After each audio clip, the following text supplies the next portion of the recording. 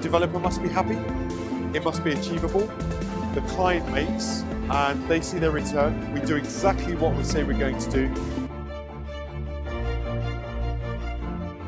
Keystone has enjoyed exceptional success. We're, we're very proud that we've delivered seven notable developments, all of which the capital and the fixed rate returns have been paid back.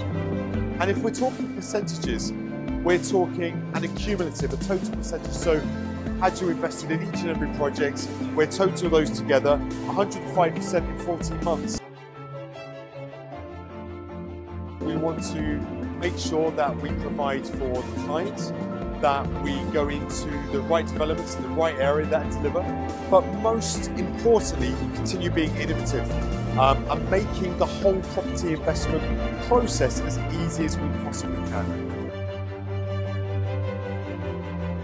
In terms of the returns, the only expectancy we have now is to continue delivering.